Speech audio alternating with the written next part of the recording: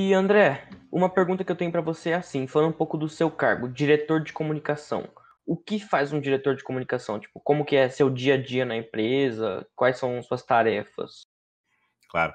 Então, já falei um pouquinho assim do, de forma macro, né?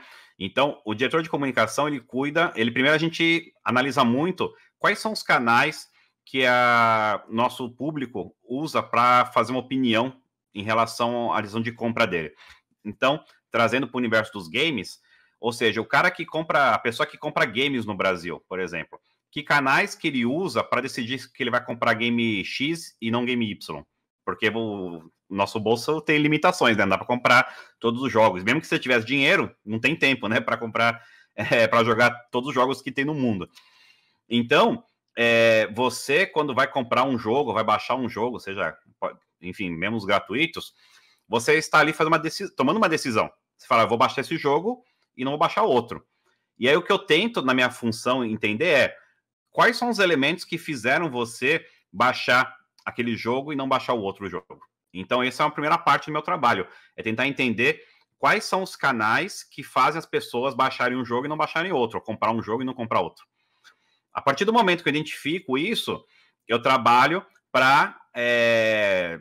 Porque muitas vezes a pessoa não, não vai, não baixa um jogo da Blizzard ou um, um produto de uma empresa, porque ela simplesmente não conhece. É... Então, eu tenho um trabalho que é identificar, a partir do momento que eu sei é, o que faz a pessoa tomar essa decisão, eu vou tentar entrar em contato com esses canais ou participar desses canais para que a pessoa, para que esses canais falem também, da, no caso aqui da Blizzard, mas qualquer um que tenha a minha função em outras empresas, falem também é, das, dos produtos da, das outras empresas.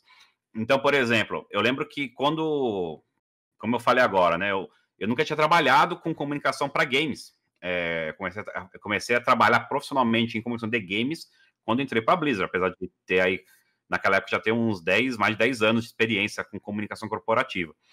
Então, a primeira coisa que, quando eu, eu assumi a comunicação da Blizzard no Brasil, que eu notei, que eu fiz essa análise, né, que eu sempre faço quando eu, eu entro num, num mercado novo, numa empresa nova, foi o seguinte, caramba, o pessoal que consome games, é, eles não estão lendo tanta notícia assim, eles não estão vendo sites, né, porque na época, os sites famosos ainda hoje, né, ainda era, tinha o Globo.com, tinha o da Folha ainda até hoje segue, tem a, tá, tem a sua importância, o UOL e afins, né?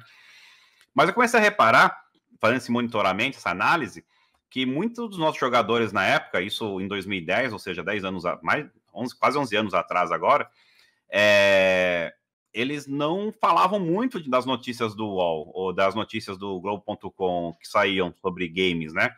Eu comecei a ver eles compartilhando coisas de um negócio chamado YouTube que, se você for pensar, uhum. parece que o tá, sempre tá aí todo dia, né? Mas o YouTube não é tão antigo assim, né? Em 2010, o YouTube já existia, claro, já é, já, já tava aí, mas não era uma coisa que tinha, não tinha essa, não existia a figura do YouTuber ou do da pessoa tava bem que no começo, né? Exatamente. Então não, é, não era uma coisa que era que tinha gente que vivia de YouTube.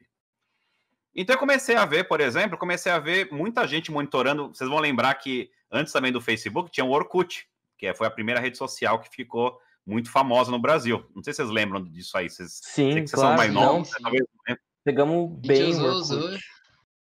Então, é... vocês lembram daquele. Eu odeio acordar cedo.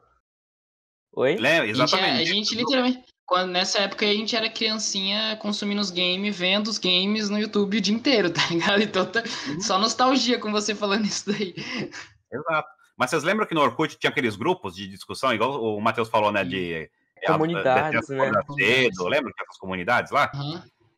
Então o que acontece? Eu ficava lá monitorando o que, que o pessoal estava falando, né, nas comunidades de games, e eu comecei a reparar que eles não colocavam notícias, né, que saíam é, na, na imprensa, nos jornalistas. Eles começavam a colocar sei lá, comecei a ver muitas vezes um tal de Leon, é, coisa de nerd, aparecer lá.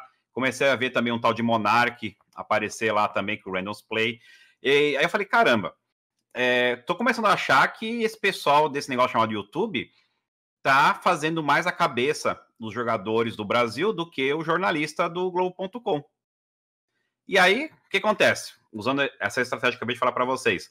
Falei, bom, se o Monark, ou o Leon e, tantos outros daquela época, né, é, são estão falando conteúdo de games e as pessoas, nossos fãs, estão compartilhando, estão discutindo, estão curtindo o conteúdo deles, eu quero que eles falem da Blizzard também, eu quero que eles falem dos nossos jogos. Então, foi nessa época que eu conheci todos eles. Então, tanto o Leon, o Monark, tantos outros aí, né? Eles estavam só com o BRKS Edu também, que está no Canadá hoje. Todos eles estavam começando, eles eram bebês, né? Praticamente nesse universo. Uhum. É, ninguém. E todo mundo começou por diversão, ninguém queria trabalhar, todo mundo tinha outras ocupações, ou trabalhava, ou estava estudando. No caso do Leon, ele estava fazendo o mestrado dele na Alemanha. É, então eu comecei a falar com eles, falei, ó, oh, eu vi que vocês têm um canal tal, e eu trabalho aqui na Blizzard, vocês não querem um código aí para jogar o StarCraft, que era um jogo que a gente estava lançando na época, né? É, e eles, pô, eles como criadores de conteúdo na época, pô, vou ganhar um jogo de graça, pô, legal, com certeza. E aí eu querendo até uma amizade, né? Porque a gente fez muita coisa, tanto é que eu fiz no meu canal no Instagram, né, o arroba André de Abreu, eu até fiz lives, porque eu completei 10 anos é, de, de empresa, né, um ano passado, e também acaba sendo 10 anos de Blizzard. Então eu entrevistei eles, fiz lives com o Monark, com o Leon e a Nilce, e tantos outros, né, que participaram de alguma forma dessa história. E que eu, eu vi começar um canal sem ninguém, e hoje eles viraram aí monstros, né, da, da, da internet brasileira. Então, isso é muito papel do comunicador também, do, do, do da, da, minha função e da minha equipe, né? É que identificar quem são esses talentos toda hora, porque ainda mais hoje em dia, né? Isso muda. Eu entrei no Clubhouse também para estudar, porque isso faz parte do meu trabalho. Então, pô, tá todo mundo falando desse Clubhouse, eu preciso entrar, preciso ver e preciso entender se as pessoas vão parar de acessar o Instagram, por exemplo, que hoje talvez seja um dos canais mais influentes é, da opinião pública brasileira, e o Clubhouse tem potencial para virar algo no futuro. É, então, por isso que eu entrei lá e comecei a, a, a participar de, da, dos grupos, participar das conversas, para entender.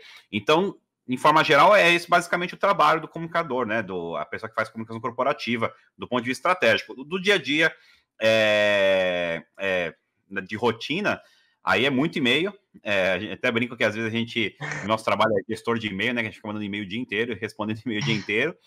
É, com a pandemia também aumentou bastante o volume de, de reuniões por vídeo, né? Porque antes, quando a gente estava no mesmo escritório, eu podia falar com a minha equipe, né? Que nem a, a, a Cláudia, que trabalha comigo, a gente está na, mes na mesma sala praticamente. Eu podia só falar com ela alguma coisa. Hoje não, para eu falar perguntar uma pergunta simples para ela, eu preciso fazer uma call, preciso fazer um abrir um Zoom com ela, né, para poder fazer perguntas simples.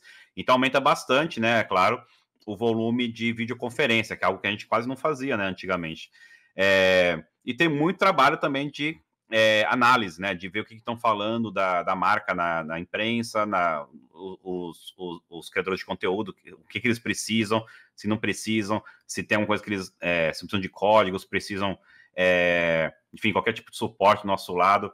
Quando tem eventos também, é, a gente tem que fazer os anúncios, a gente manda o que a gente chama de press release, que é o comunicado de imprensa, né, que as empresas é, lançam para os públicos interessados. É, no caso do criador de conteúdo, o pessoal que é do YouTube, Instagram, eles não têm, obviamente, eles não leem e-mail praticamente mais. Então, essa é outra coisa que a gente é, a gente evoluiu, a gente criou outras regras, não vou falar aqui porque é quase segredo de, de estratégico nosso, mas a gente criou outras maneiras mais, mais eficazes de falar com esses criadores de conteúdo, né? Que não é o e-mail, porque hoje a galera que, tem canal no YouTube, que tem canal no Instagram grande, é, de games, eles não leem e-mail, né? Porque não, não tem tempo, né, cara? É, então a gente criou outras estratégias para falar com eles que são muito mais fáceis né, e rápidas de conversar e dá, dá mais certo, né?